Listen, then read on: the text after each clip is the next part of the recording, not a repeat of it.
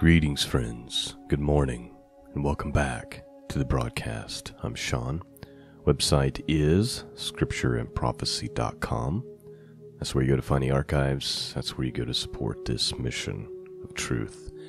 Today, uh, we are starting our week with some wisdom and some encouragement from the Psalms and from the Proverbs. We are ready for Psalm 39 and Proverbs 26. Now, Psalm 39 is actually only 13 verses long. Uh, so the podcast this morning has the potential to be pretty short, but there's some pretty big chunks of meat in this uh, in this psalm uh, that I think we need to really open up our hearts and kind of take it in and l- allow this passage, this uh, chapter, this psalm to be a mirror. Uh, that maybe we need to take a minute and look into and see if any of this uh, pierces kind of the way we act, the way we think, the way we are with our mouth. One of the big things that we, like large topics that we come across nearly every single week when we go through Psalms and Proverbs, is about watching what you say. Being careful about what comes out of your mouth.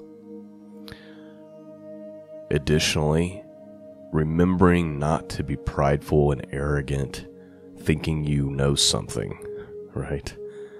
Now, I haven't pre read uh, Proverbs 26 yet, just because I haven't had time, but I wouldn't be surprised if when we read Proverbs 26 this morning that it actually has at least one verse about guarding your tongue. Now, Psalm 39 certainly does. So let me read it. It's only 13 verses, and then we'll kind of go back through and just kind of reiterate and, and really look at a couple of things. Let's begin. Psalm 39 to the chief musician, a psalm of David. Verse 1 I said, I will take heed to my ways that I sin not with my tongue. I will keep my mouth with a bridle while the wicked is before me. I was dumb with silence. I held my peace, even from good, and my sorrow was stirred. My heart was hot within me while I was musing, the fire burned. Then spake I with my tongue. Lord, make me to know my end, and the measure of my days. What is it? That I may know how frail I am. Behold, thou hast made my days as a handbreadth, and my age is as nothing before thee. Verily, every man at his best state is altogether vanity. Surely every man walketh in vain shew. Surely they are disquieted in vain. He heapeth up riches and knoweth not who shall gather them. And now, Lord, what wait I for? My hope is in thee. Deliver me from all my transgressions. Make me not the reproach of the foolish. I was dumb, I opened not my mouth, because thou didst it. Remove thy stroke away from me. I am consumed by the blow of thy hand. When thou with rebukes dost correct man for iniquity, thou makest his beauty to consume away like a moth. Surely every man is vanity. Hear my prayer, O Lord, and give ear unto my cry. Hold not thy peace at my tears, for I am a stranger with thee, and a sojourner as my fathers were. O spare me that I may recover strength before I go hence, and be no more. All right, so that's Psalm 39. Let's just start with the first part here.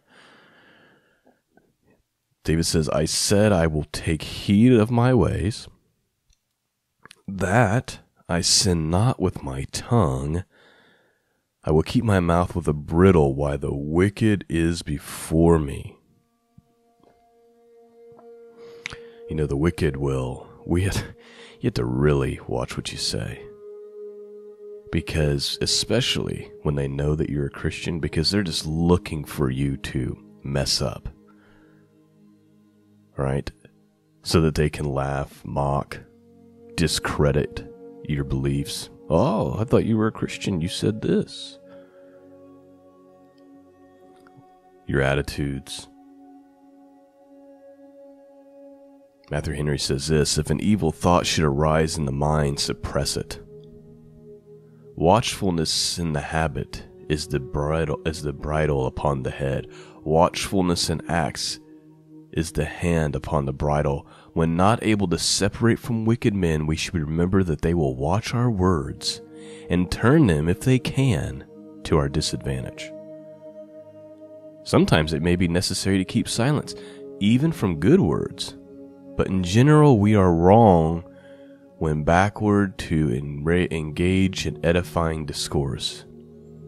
Impatience is a sin that has its cause within ourselves and that is musing and all of its effects upon ourselves, that is no less than burning. In our greatest health and prosperity, every man is all. Well, let me skip that part because I want to talk about that here in a second. I want to focus on just this. When we are not able to separate from wicked men, we should remember that they will catch our words and turn them, if they can, to our disadvantage. It's so important to be a person who's quiet. Not a person who always has to be heard. Not a person whose opinions always have to be. You know who I'm talking about. Maybe some of that's you. Oh, I just have to share my opinion on this. I just have to gossip about this. I just have to complain and murmur about this. there's so much in there's so much in the Psalms and Proverbs about not doing that. Verse 4 Lord, make me to know my end and the measure of my days, that is, that I may know how frail I am.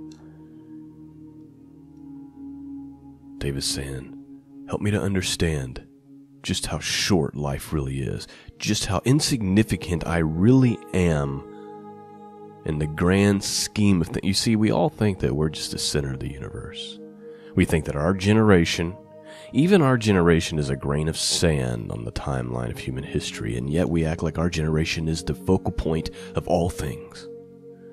Like there's never been more importance than our little 70 year existence. Lord, make me to know my end and the measure of my days, what it is, that I may know how frail I am. Behold, thou hast made my days as a handbreadth, and my age is nothing before thee. Verily, every man at his best state is altogether vanity. What is vanity? What is vanity? Vanity is this. Sometimes it's translated as a vapor, as a breath. It means it's emptiness, unsatisfactory. It's the Hebrew word habel. So some translations will say man is just a vapor, he's just a breath. It's emptiness insignificant. That's what David is saying. David says, Surely every man at his best state, when you're at your very, very best, it's altogether emptiness. Every man walketh in a vain show, shew. Some translations will say shadow. Surely they are disquieted in vain. And then he goes on, they, they heap up riches. So they spend all this time, they gather all this wealth for what? They have no idea who's to who it's to whose hands it's to end up in. You spend your whole life stockpiling wealth, and then where does it end up? You don't even know. David says, "You know what my hope is in." Verse seven, I and now, Lord, I wait. What wait I for? My hope is in Thee. Why? Deliver me from my transgressions. Make me not a reproach of the foolish. He's saying, I understand that my days are a blip. And I understand that man, even on his be- even on his best day and his best moments, is still empty.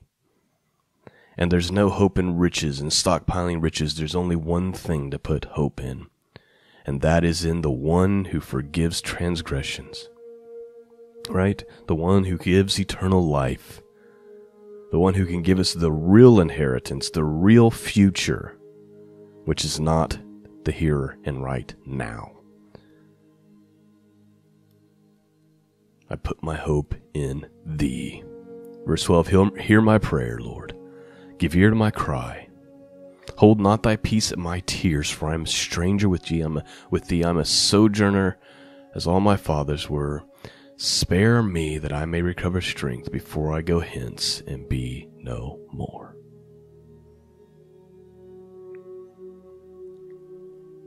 People live as though this world is all there is. Furthermore, they live as though this world is all there is and that they're going to live forever in it. Not understanding how short their life is. Lord, help me to know my end and the measure of my days what it is, that I may know how frail I am. Thou hast made my days as a handbreadth, and my age is nothing before you.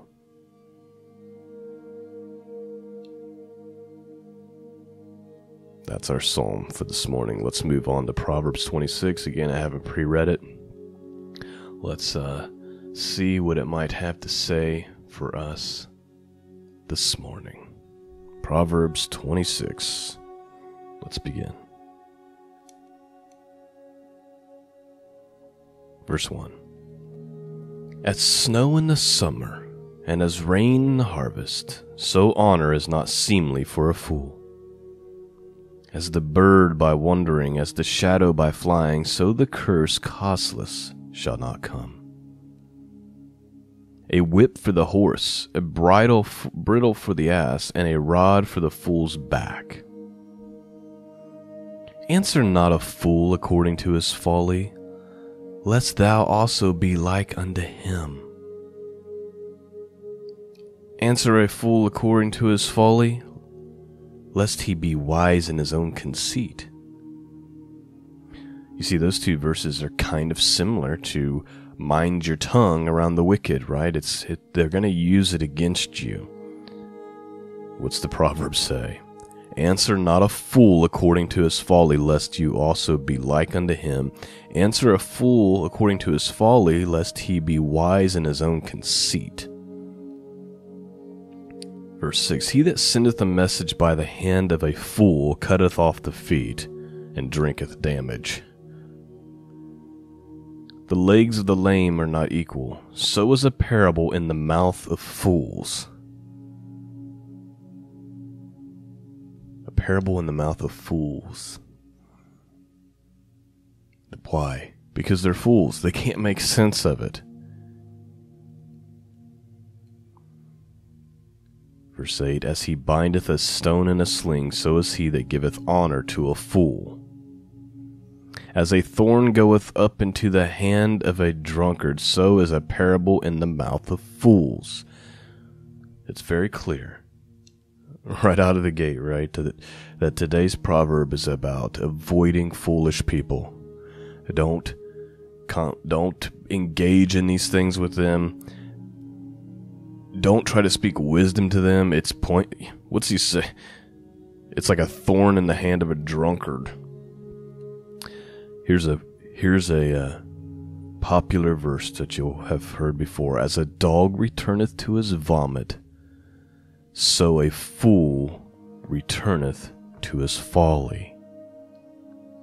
As a fool, or as a dog returneth to his vomit, so a fool returneth to his folly.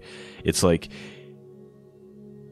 you going back to the thing that's causing you to stumble, the thing that's wrecked your life, the thing that's ruined your relationships, the things that's cost you so much, like going back to it for some 30 seconds of pleasure or whatever it is that you're seeking, is like a dog going back and eating its own vomit. Remember the story Jesus tells about how they clean out the house?